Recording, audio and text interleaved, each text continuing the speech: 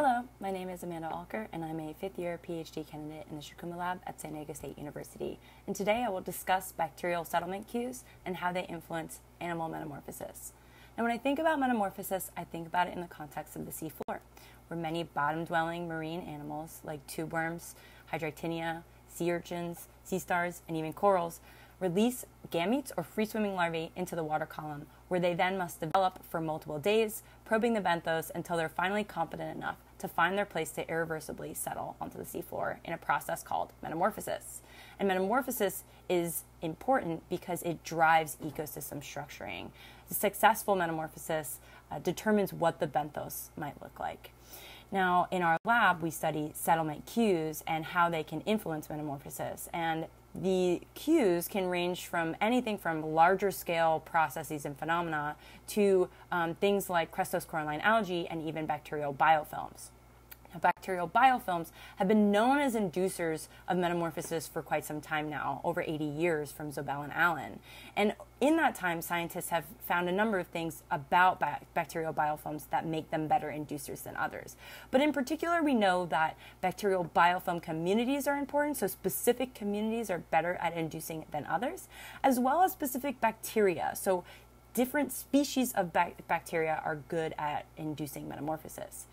With this, I wanted to start interrogating what kind of settlement cues are produced by different bacteria, and then also, is there animal cue specificity? So, of the cues that are produced, are, are they going to be universal or are they only interacting with certain animals to give them that cue to settle down?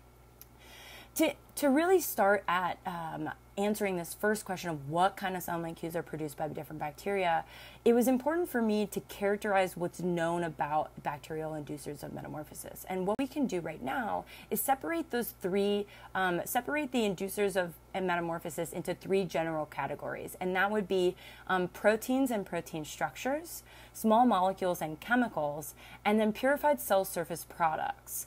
And we'll start with proteins mainly because MACs or metamorphosis associated contractile structures are a very unique example of an inducer of metamorphosis, but will also set the scene for the methodology that we'll use to interrogate these other two um, inducers of metamorphosis down the road.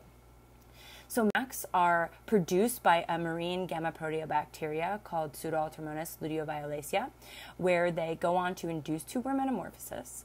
Um, MACs themselves are evolutionarily related to type 6 secretion systems and bacteriophage. And what that means is that this tail like structure is what is evolutionarily related to the type 6 secretion systems where they use a syringe like mechanism to inject effectors across membranes. And these effectors we have been able to characterize have distinct functions.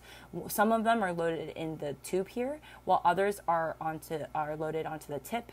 And in this case, they have different functions as well, where uh, one of the effectors that we characterize is responsible for inducing metamorphosis, while another effector that we have characterized kills macrophages.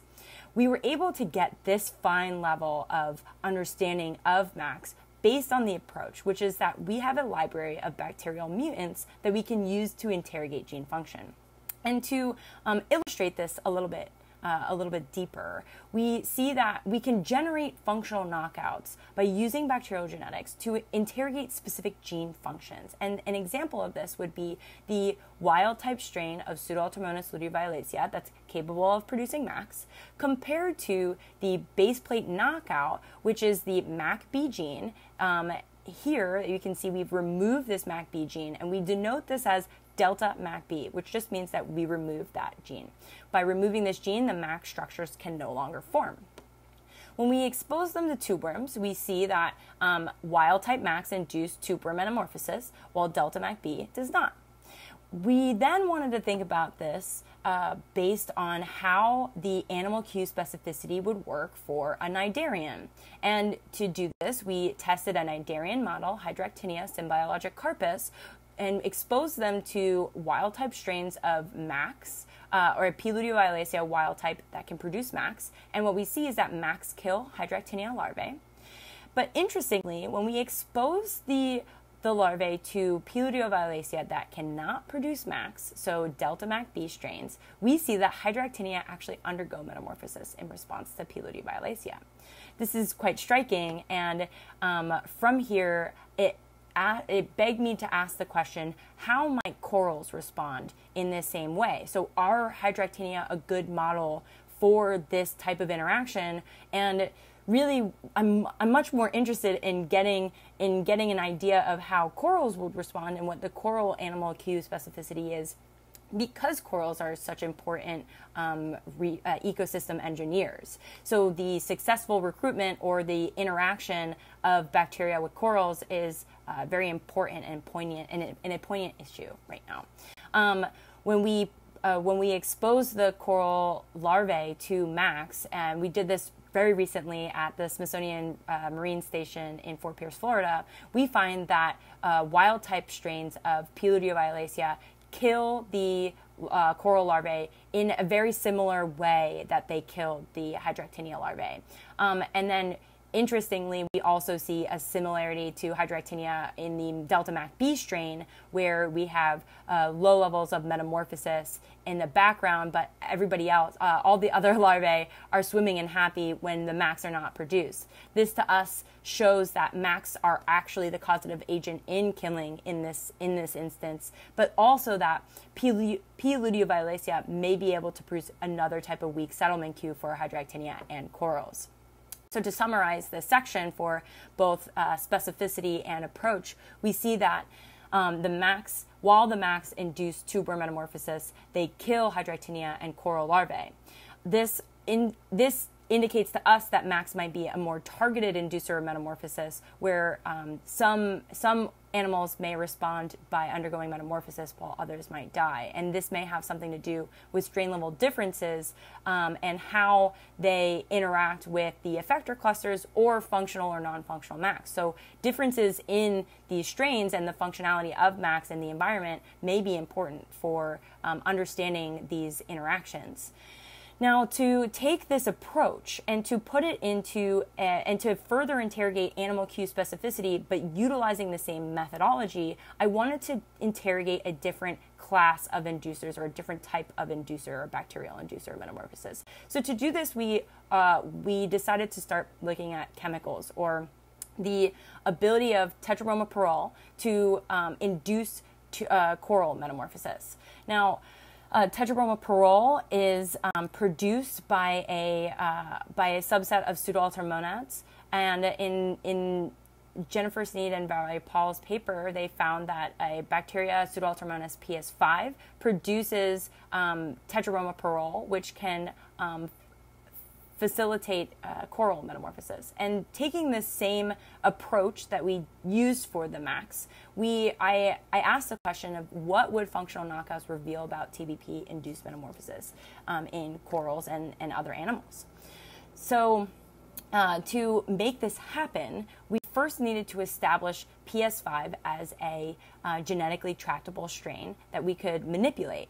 And to uh, once we were able to confirm that we could get PS5 uh, to work with our genetic tools, we were able to identify a target gene to knock out, which was the BMP2 gene. And what we can see is that this non this non-functional mutation removes the bromines from each of the four corners of this hetero- heterocyclic ring because BMP2 is a brominase. So this allows us to generate a uh, assay in the same way that we did for the MACs where we can compare the wild type strain to the non-functional strain and do a metamorphosis assay to get the readout. Our hypothesis here would be that ps5 delta bmp2 does not induce metamorphosis. When we put this to the test it worked. So we see a, um, a high percentage of ps5 uh, undergoing metamorphosis in response to wild type um, in, in, in, response to the wild type strain, but the non functional Delta BMP2 strain uh, exhibits far lower, uh, far lower levels of metamorphosis. Um, this can confirm and, and reconfirm really that TBP is the main inductive cue in Pseudoalteromonas PS5 uh, stimulated metamorphosis. And also allows us to move forward with this type of approach in interrogating gene function. So to summarize this, we we were able to make PS5 genetically tractable. We reconfirmed that TBP is the main inducer of metamorphosis. And interestingly, we find that hydractinia do not undergo metamorphosis in response to TBP, which makes hydractinia maybe not as great of a model to study TBP induced metamorphosis, which is quite striking because um, as a cnidarian, you would think that they may undergo a similar type of um, signal transduction to get to metamorphosis, and this may not be the case. Um, in the future, we may be interested in looking at more general cell surface products as uh, inducers of metamorphosis, and these cell surface products include um, can include lipopolysaccharide and outer membrane vesicles. However, we would first need to determine the animal cue specificity for this, generate the tools to be able to tackle this, and then also identify the genes that would be responsible for inducing metamorphosis and then target them with CRISPR-I.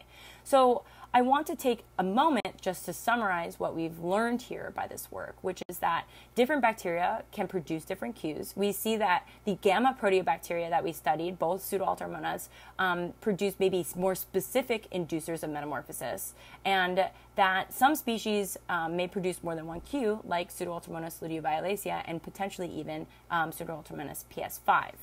Um, furthermore, we do see high levels of animal cue specificity where MACs and TBP are specific inducers of metamorphosis, while sometimes MACs may kill other animals and TBP may induce robust metamorphosis in one case and not at all in, in an animal within the same phyla, which is very interesting. Now, this also leads us to um, caution that strain level differences may influence the ecological significance of this. And so now looking at the diversity of strains that exist in the environment and making the requisite manipulations to mirror that might be the next way forward to interrogate these animal cue specificities even more. To conclude, I'd like to acknowledge my collaborators and everyone that has helped me during this process. I couldn't have done it without them. I would like to thank my lab uh, and my PI, Dr. Nicholas Shikuma everyone at the Smithsonian Marine Station that helped with the coral work. I truly couldn't have done it without you, especially with um, Jennifer Sneed, Alyssa Demko, Valerie Paul, and Yesmarie De La Flor. They've been amazing. And then I would like to leave you with uh, I will be finishing my PhD this year. And if you are considering postdoc offers, if you're interested in this type of work, or you think that we could we would work well together, I am entertaining offers. So thank you very much. And for that, I will take questions.